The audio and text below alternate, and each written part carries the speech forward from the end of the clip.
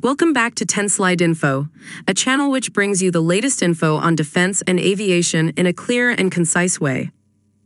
In today's video, we're looking at a move by the Indian Army to strengthen its forces in Kashmir.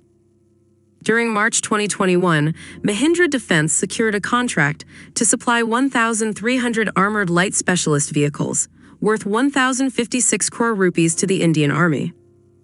The effectiveness and capability of these vehicles during operations in Kashmir has made the Indian Army's team to consider placing additional orders. The Armado is an armored light specialist vehicle, allowing for efficient maintenance, and it can be upgraded or configured in the field for a wide variety of operational roles. The Armado boasts B7 level ballistic protection, shielding troops from small arms fire and shrapnel, a major concern with sniper attacks. This armored vehicle provides protected mobility for four crew members with full combat gear, along with ample storage space for arms and ammunition inside the crew compartment, with an additional 400 kgs cargo load carrying capacity.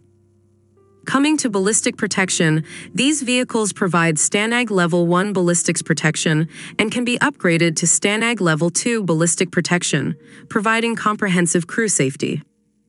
The key characteristics include a powerful 3.2 liters multi-fuel diesel engine generating 215 horsepower. It's a four-wheel drive vehicle with front and rear differential locks and with all-wheel independent suspension with central tire inflation system. In the context of Kashmir, the Armado's mobility, firepower, and crew protection can significantly reduce casualties from surprise attacks. The Indian Army's move towards acquiring more Armado vehicles highlights their focus on strengthening security measures in Kashmir.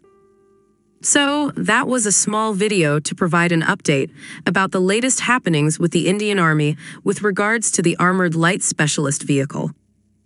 Thanks for joining us today on 10 Slide Info.